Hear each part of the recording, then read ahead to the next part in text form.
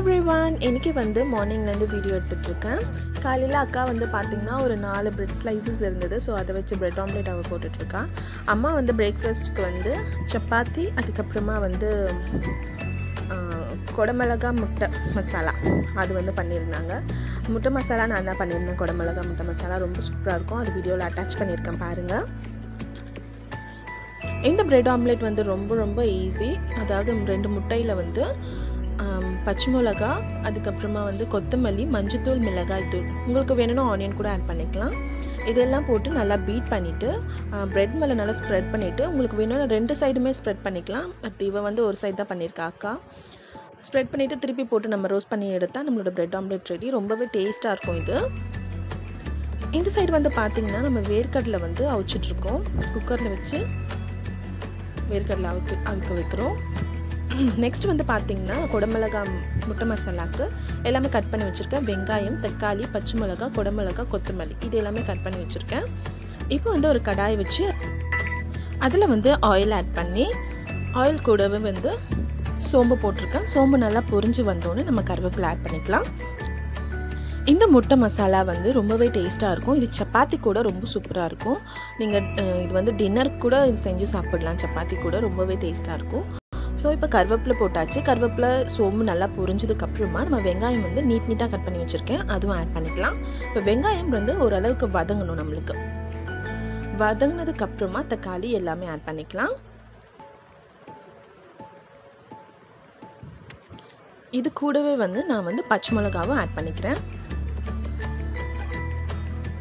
இப்போ வெங்காயம் நல்லா வதங்கினதுக்கு அப்புறமா தக்காளி ஆட் பண்ணுறோம் தக்காளி ஆட் பண்ணிவிட்டு நல்லா வதக்க போகிறோம் இப்போ இந்த டிஷ்ஷுக்கான உப்பையும் வந்து இந்த இந்த ஸ்டேஜில் நான் ஆட் பண்ணிக்கிறேன். தக்காளியும் நம்மளுக்கு நல்லா வெந்துடும் இப்போ தக்காளி நல்லா வெந்ததுக்கு அப்புறமா கொடமிளகா வந்து நான் கட் பண்ணி வச்சுருக்கேன். நீங்கள் குட்டி குட்டியாக கூட கட் பண்ணி போட்டுக்கலாம். நான் கொஞ்சம் பெருசு பெருசாக கட் பண்ணியிருக்கேன். இது எல்லாம் ஆட் பண்ணி நல்லா வந்து மிக்ஸ் பண்ணிவிட்டு இப்போ இதுக்கான மசாலாஸ் எல்லாமே ஆட் பண்ணிக்கலாம். கொஞ்சமாக மஞ்சத்தூள் ஒரு ஸ்பூன் குழம்பு மிளகாய் தூள் ஒரு ஸ்பூன் வந்து ரெட் சில்லி பவுடர் அது கரம் மசாலா கொஞ்சோண்டு. இதெல்லாம் ஆட் பண்ணி நல்லா வந்து மிக்ஸ் பண்ணிக்க போகிறோம் இதோட பச்சை வாசனை போகிற வரைக்கும் நம்ம வதக்குனாலே போதும். அது பச்சை வாசனை போனதுக்கப்புறமா நான் முட்டையை உடச்சி ஊற்றிக்கிறேன் இப்போ முட்டையை உடச்சி ஊற்றிட்டு நல்லா வந்து மிக்ஸ் பண்ணிக்கலாம்.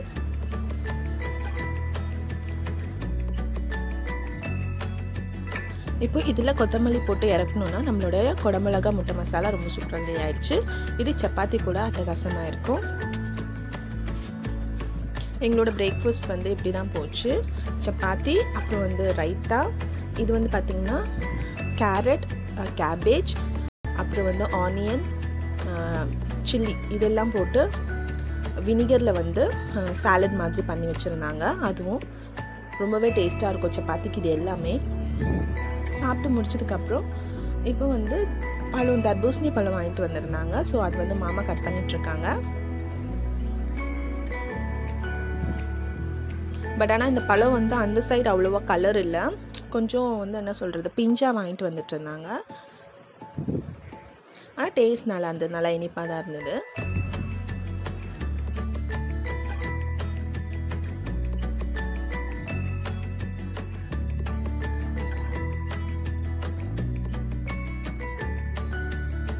ஸோ இந்த மாதிரி க்யூப் க்யூபாக நம்ம கட் பண்ணி எடுத்துட்டோன்னா வந்து ஈஸியாக இருக்கும் அப்படியே எடுத்து சாப்பிட்றதுக்கு. நெக்ஸ்ட்டு வந்து இப்போது வந்து லஞ்சுக்கு வந்து என்ன பண்ணுறாங்கன்னா ஒயிட் பிரியாணி பண்ணிகிட்ருக்கோம் ஒயிட் பிரியாணிக்கு வந்து ஆயில் போட்டு பட்டை கிராம்பு ஏலக்காய் பிரிஞ்சி ஏலை போட்டுட்டு ஆனியன் போட்டிருக்கோம். இது வந்து நார்மலாக ஒரு பச்சை பட்டாணி போட்டு ஒரு ஒயிட் பிரியாணி இப்போ வெங்காயம் நல்லா வதங்கணும். இப்போ இந்த வெங்காயத்துக்கு கூடவே நம்ம என்ன சேர்க்க போகிறோம்னா பச்சை மிளகா கொத்தமல்லி புதினா. இது எல்லாம் ஆட் பண்ணிக்கலாம். இப்போ இது எல்லாமே சேர்த்து நம்மளுக்கு நல்லா வதங்கி வரணும். இது நல்லா வதங்கி வந்ததுக்கப்புறமா இஞ்சி பூண்டு பேஸ்ட் போட்டு நல்லா வதக்கிக்கலாம். இப்போ இஞ்சி பூண்டு பேஸ்ட்டு போட்டுட்டு நல்லா வதக்குனதுக்கப்புறமா பச்சை பட்டாணி போட்டுக்கலாம்.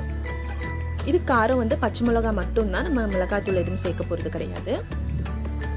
இப்போ இது நல்லா வதங்கினதுக்கப்புறமா தண்ணி ஆட் பண்ணிக்கலாம். நம்மளுக்கு தேவையான அளவுக்கு தண்ணி தண்ணி ஆட் பண்ணி தண்ணி நல்லா கொதிக்கணும். கொதி வந்ததுக்கப்புறமா அரிசி ஆட் பண்ணிக்கலாம். நான் இன்றைக்கி வந்து நார்மல் ரைஸ் தான் எடுத்திருக்கேன். சாப்பாடு சாப்பாடு அரிசி தான் எடுத்திருக்கேன். பாஸ்மதி ரைஸ் போடல. இப்போ தண்ணி நல்லா கொதிச்சு வந்ததுக்கப்புறமா ரைஸ் ஆட் பண்ணிவிட்டு நம்ம விசில் போட்டுடலாம். அதுக்கு முன்னாடி லெமன் ஜூஸ் ஆட் பண்ணிவிட்டு டேஸ்ட் பார்த்துட்டு உப்பு எல்லாமே கரெக்டாக இருக்கான்னு பார்த்துட்டு நம்ம வந்து விசில் போட்டுடலாம். இந்த சைட் வந்து முட்டை குருமா பண்ண போகிறோம் அதுக்கு. அதுக்கு முட்டை வெந்துட்டுருக்கு. இப்போ நான் ப்ரெஷர் குக்கர் மூடிட்டு விசில் போட்டுறேன். இப்போது விசில் எல்லாம் போயிட்டக்கப்புறமா ப்ரெஷர் எல்லாம் இறங்கினதுக்கப்புறமா ஓப்பன் பண்ணி பார்த்தா உங்களுக்கு இப்படி தான் இருக்கும். நம்ம மிக்ஸ் பண்ணால் இது எல்லாமே ஒன்றாயிடும் ஸோ சூப்பராக வந்திருந்தது. டேஸ்ட்டும் ரொம்ப நல்லா இருந்தது. அதுவும் அந்த முட்டை குருமாக்கு இது ரொம்ப டேஸ்ட்டாக இருந்தது.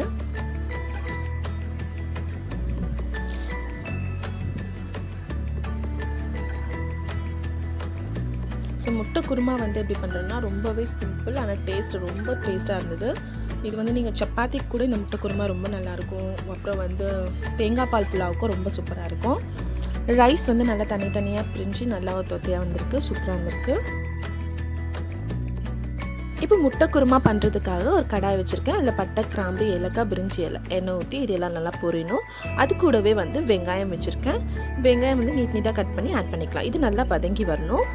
வெங்காயம் நல்லா நம்மளுக்கு வதங்கி வந்ததுக்கப்புறமா பச்சை மிளகா இஞ்சி பூண்டு பேஸ்ட் இதெல்லாம் ஆட் பண்ணி நல்லா வதக்கிக்க போகிறோம் இஞ்சி பூண்டு பேஸ்ட் பச்சை வாசனை போனதுக்கப்புறமா நம்ம வந்து தக்காளி ஆட் பண்ணிக்கலாம். இந்த குருமாக்கு வந்து நம்ம வந்து தேங்காய் அரைச்சி ஊற்றி தான் வைக்க போகிறோம் தேங்காயில் வந்து கொஞ்சோண்டு சோம்பு சேர்த்து அரைச்சி வச்சுக்கலாம். இப்போ தக்காளி நல்லா வதங்கினதுக்கப்புறமா உப்பு ஆட் பண்ணுறேன் இப்போ இந்த தக்காளி வெங்காயம் எல்லாமே நல்லா வதங்கி வந்திருக்கு. இந்த ஸ்டேஜில் வெறும் மிளகாய் தூள் வந்து ஒரு ஸ்பூன் ஆட் பண்ணிக்கலாம். உங்கள் காரத்துக்கு ஏற்ற மாதிரி நீங்கள் ஆட் பண்ணியிருக்கலாம் இப்போ வந்து கரம் மசாலா கொஞ்சமாக ஆட் பண்ணிக்கிறேன். இப்போ மஞ்சத்தூள் இதெல்லாம் ஆட் பண்ணி நல்லா மிக்ஸ் பண்ணிக்கலாம். அந்த சைடு வந்து முட்டையை ஆல்ரெடி நான் வேக வச்சுருக்கேன். இப்போ அரைச்சி வச்சுருக்கேன் இந்த தேங்காய் இருக்குது பார்த்தீங்களா அது வந்து ஆட் பண்ணிக்கலாம். இதில் வெறும் சோம்பு மட்டும்தான் சேர்த்து நான் ஆட் பண்ணியிருக்கேன் உங்களுக்கு வேணும்னா கசகசா முந்திரி பருப்பு இதெல்லாம் கூட சேர்த்து ஆட் பண்ணிக்கலாம். இப்போ இதை நல்லா மிக்ஸ் பண்ணிவிட்டு நம்ம மூடி போட்டு கொதிக்க விட்டோம்னா இந்த மாதிரி உங்களுக்கு ரெடி ஆகிடும் இதில் வந்து அவுச்ச முட்டையை நான் ரெண்டாக கட் பண்ணி இதில் ஆட் பண்ணிவிட்டு ஒரு ஃபைவ் மினிட்ஸ் கொதிக்க விட்டு கொத்தமல்லி தூவி இறக்குனா நம்மளுடைய முட்டைக்குருமா ரெடி ஆகிடும் இன்றைக்கி எங்களோட நாள் இப்படி தான் போச்சு. நான் இதெல்லாம் தான் செஞ்சேன். இந்த வீடியோ உங்களுக்கு பிடிச்சிருக்குன்னு நினைக்கிறேன். இதே மாதிரி அடுத்த வீடியோவில் உங்களை நான் மீட் பண்ணுறேன் பாய் தேங்க்யூ ஃபார் வாட்சிங்